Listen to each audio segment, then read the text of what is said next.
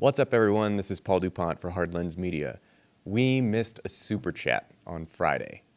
I'm very, very sorry about that. So this came when we were talking about the story uh, on the World Health Organization and their issuing of a global health emergency uh, in the wake of the coronavirus and it's affecting uh, not only citizens in China, but the potential that that could spread to other countries as well. Uh, in fact, has already spread to several other countries. Uh, Harry says this, bit of a cough hits China. Ir irresponsible corporate media make unaffected white people panic and make it about themselves while ignoring the suffering of the actual victims in China, a new low for us. Uh, I think he's right. I think, um, I think it's been used uh, as a way of, of sort of bolstering and, and solidifying people's uh, preconceived notions about China and about uh, its effectiveness or lack of effectiveness in various areas.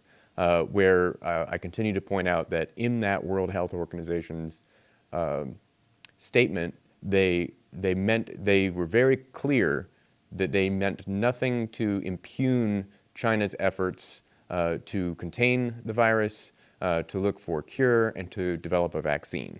So thank you for your super chat. Uh, we do accept super chats during the show. This is not a, a, beg for super chats or anything like that, but we try to read them uh, in between stories. We try not to interrupt stories too much with super chats, uh, but in between our stories, we, we do try to um, uh, make sure that we get to everyone and thank everyone for their support. So cheers, everyone.